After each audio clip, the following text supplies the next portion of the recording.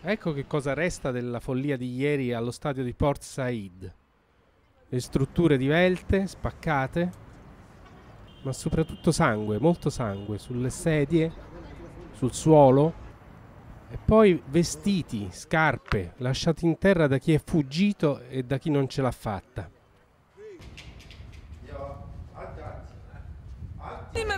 La disperazione delle madri. Mio figlio, dice questa donna, alla stazione del Cairo dove i parenti dei tifosi aspettano ancora i loro figli, mio figlio non risponde al telefono da ieri sera e voglio sapere dov'è.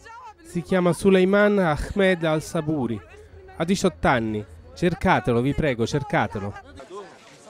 Nella notte centinaia di abitanti di Port Said si sono raccolti davanti agli ospedali per donare il sangue. Dice questo ragazzo, sono venuti sia quelli che erano a casa sia molti di quelli che erano allo stadio, uomini e donne, per dare il sangue perché gli ospedali l'hanno finito.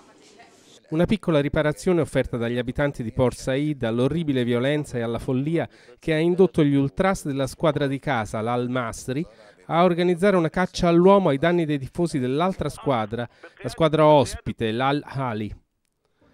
Un testimone, un tifoso dell'Al-Hali.